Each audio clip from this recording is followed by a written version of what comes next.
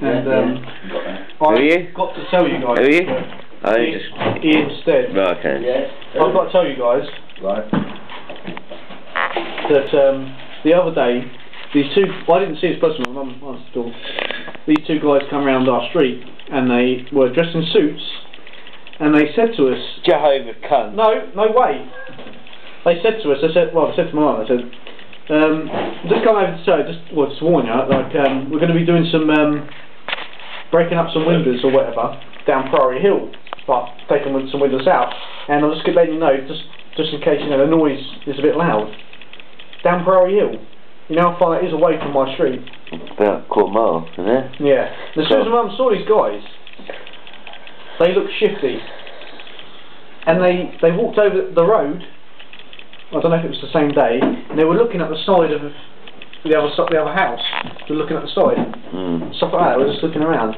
The police, the communica- community support officer has been contacted. Um, Pointless. yeah, I know it's pointless, isn't it? Fucking useless. Wankers. Useless. Um, but, you know, Put that by. Cheers, man. You know what I mean?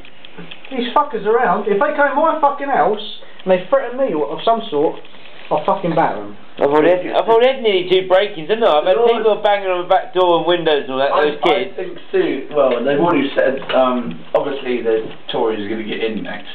Yeah, I'm going to rape their Well, they're basically knocking the doors, But I- seeing if there's anyone in. It's going to, yeah. At certain times. It's going to be. Seeing if you work because, at because certain times. Because they're obviously not going to strengthen the police force because it's too expensive, they're going to leave it to us to defend ourselves.